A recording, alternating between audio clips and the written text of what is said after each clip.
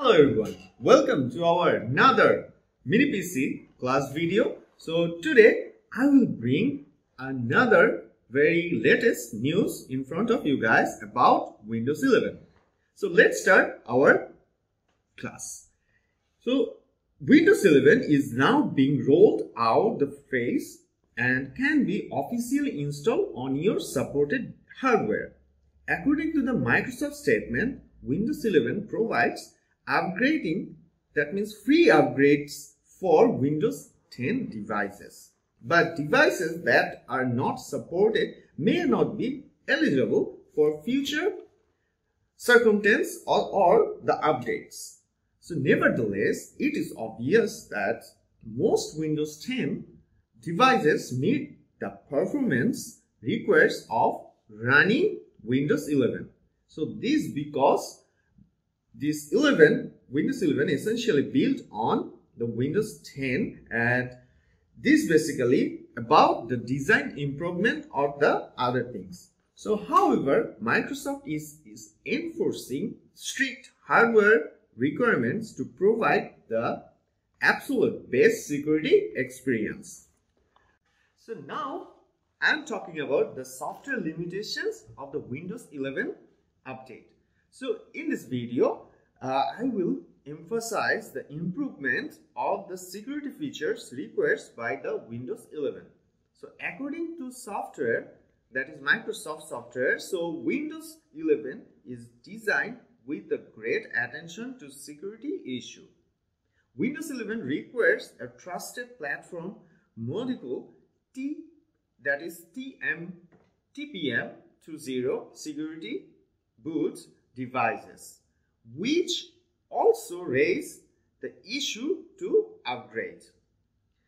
Microsoft Future explained that they hope to set a standard for uh, personal computer security though Windows 11 and also the old devices are not update Windows 11 for the CPU limit.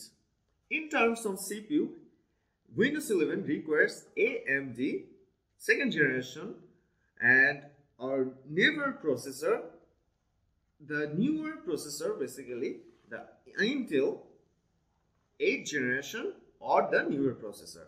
At present, the processor limitation can be break through the Windows 11 limitation unless Microsoft release the hardware in standard line.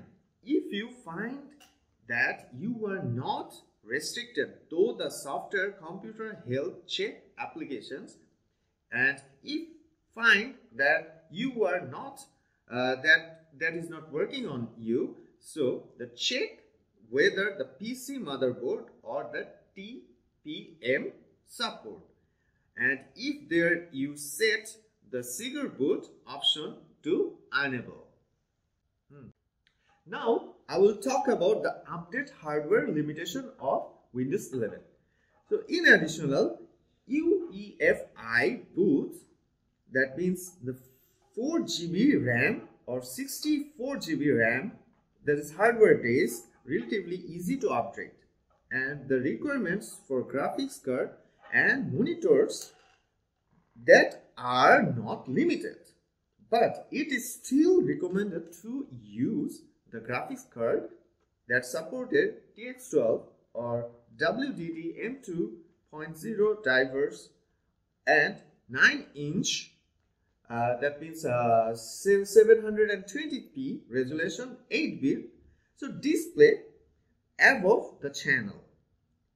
So in other respectly that the Windows 11 Home Edition users must be connected to the network when they first start the setup. Otherwise, the OOBE process cannot be completed.